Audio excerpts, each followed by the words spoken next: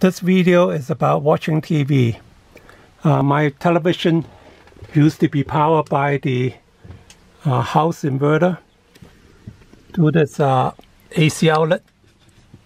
And the house inverter alone have a has a uh, 60 watt uh, overhead. So every time I watch TV even though the TV draws 36 watt but I have to turn the inverter on which is 60 watt.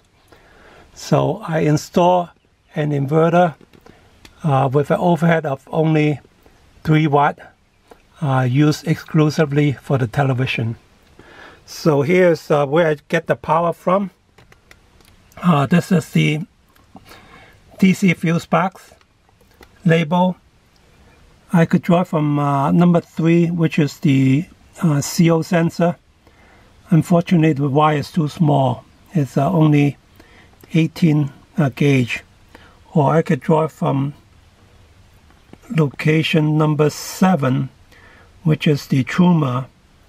Uh, unfortunately, the Truma fan alone could draw up to 4.6 amp. So I finalize it to uh, number 11. Number 11 is a uh, 11, sorry, it's a 10 amp uh, circuit. It supports three low. Uh, the driver's side bedroom LED is uh, 0.44 amp. The dinette, uh, this is a dinette LED light. It draws uh, 0.47 amp. And then also the uh, TV antenna, it's a uh, 0.11 amp. So out of the 10 amp, uh, the leftover is 9 amp. And based on that, uh, the inverter could support up to 100 watt of uh, power.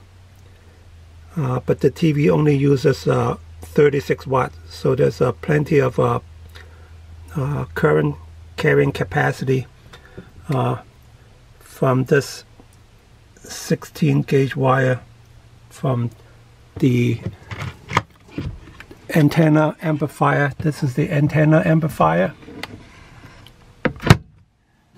And I splice this cable, this cable that goes to the amplifier, uses a 10 amp connector so I could get 12 volt DC from here and the 12 volt DC cable go through a hole that already exists. Uh, I don't have to drill an extra hole and feed directly to the inverter.